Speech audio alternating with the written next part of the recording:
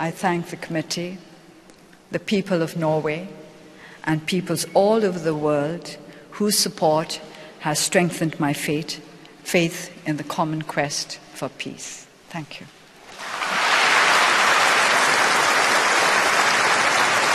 So thank you for your inspiring message.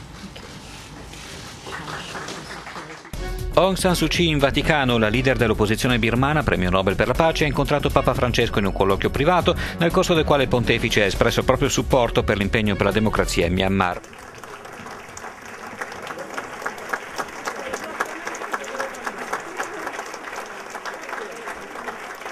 Onore e gloria anche a Torino per Aung San Suu Kyi, premio Nobel per la pace 1991, leader dell'opposizione in Birmania per quasi vent'anni prigioniera politica nel suo paese, simbolo in tutto il mondo di lotta per la democrazia e per i diritti umani.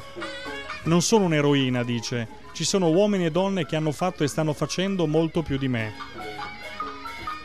A conferirle finalmente la cittadinanza onoraria di Torino, che le era già stata assegnata nel 2010, ma lei non poteva allora uscire dal suo paese per ritirarla, nella sala rossa, dinanzi ad un consiglio comunale molto emozionato, sono stati il presidente Ferraris e il sindaco Fassino, che per quattro anni, dal 2007 al 2011, è stato inviato speciale dell'Unione Europea proprio in Birmania. Welcoming the woman who's campaigned for democracy in Burma and endured 15 years of house arrest ordered by the military junta. Myanmar opposition leader Aung San Suu Kyi has received a prize in Strasbourg given to her 23 years ago by the European Parliament. Suu Kyi was awarded the Sakharov Prize in 1990 in recognition of her fight for democracy in Myanmar.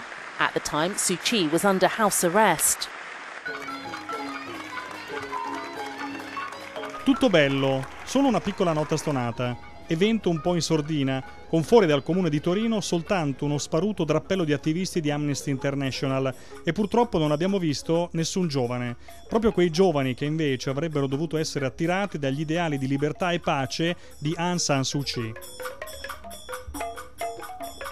Adesso l'Italia resti vicino alla Birmania, ha concluso il premio Nobel. Aung San Suu Kyi ha raccontato poi di aver scoperto solo da poco che suo padre, l'uomo che ha reso indipendente la Birmania, era molto legato ad un monaco di Torino. Chi mi è stato più vicino negli anni della prigionia? si domanda. Václav Havel e Desmond Tutu. A loro devo molto. La cosa più importante è stare attenti a quello che accade nel mondo. In Birmania ci stiamo incamminando verso la democrazia. Stiamo lottando per cambiare la Costituzione. Nel nostro paese ci sono tante persone di tante religioni differenti. Dobbiamo riconoscerle tutte, in armonia e pace. Dobbiamo imparare a capire tutti.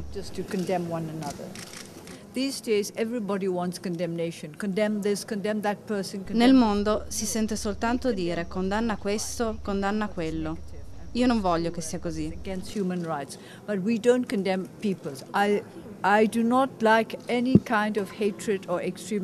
Non mi piacciono tutte le forme di odio e violenza. Non aiutano, innescano solo altro odio, violenza e discriminazione.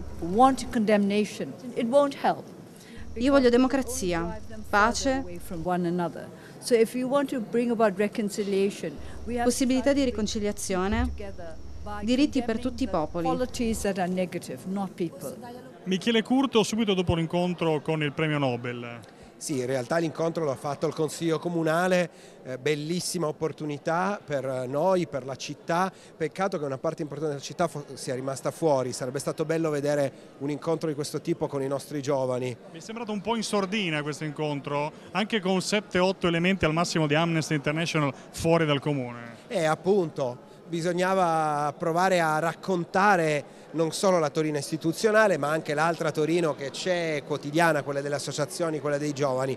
Detto questo un bellissimo fatto, sicuramente una giornata di festa. Ecco, che cosa, perché tu hai parlato direttamente con eh, la lady della Birmania, che cosa le hai detto? Le hai ricordato un'altra emergenza umanitaria nel mondo? Democratica, sì. Io per anni ho lavorato in Bielorussia, la Bielorussia è l'ultima dittatura d'Europa, non è lontana da casa, è vicina a noi, dove c'è un eh, dittatore che è Lukashenko e il premio Sakharov prima di Aung San Suu Kyi è stato Alex Bieliecki, un uh, uomo di cultura, il direttore del Museo di Minsk, del Museo di Stato di Minsk, oggi ai lavori forzati al confine fra Bielorussia e Russia a tagliar legna. Ho ricordato alla premio Nobel, eh, alla premio Nobel Aung San Suu Kyi di ricordare Alex Bieletsky, di ricordarsi che bisogna tirar fuori dalle galera anche lui.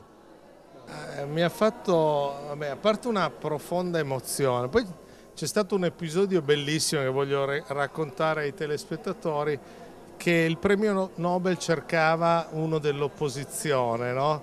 e si ritrovava sempre quelli di me e cercava proprio uno dell'opposizione perché lei ovviamente donna eh, martire dell'opposizione allora Fassino ha indicato me dice se ne vuoi uno tosto eccolo qua ed è stato molto bello come, come siparietto ecco. ecco. che cosa può insegnare? Beh, innanzitutto la forza delle donne la forza delle donne e soprattutto eh, la forza, come la, la pace e la perseveranza possono distruggere qualsiasi tipo di eh, barriera autoritaria che può esistere. Cioè, io non ho mai creduto, come non ha creduto lei nel mio piccolissimo, in una lotta armata, una contrapposizione diretta, ma bensì la sua bontà penso che abbia scardinato qualsiasi tipo di regime e, lui, e lei è la prova provata di, di quello che stiamo affermando.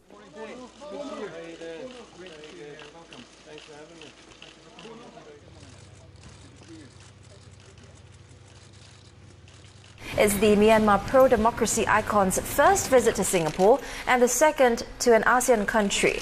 The first was Thailand in 2012.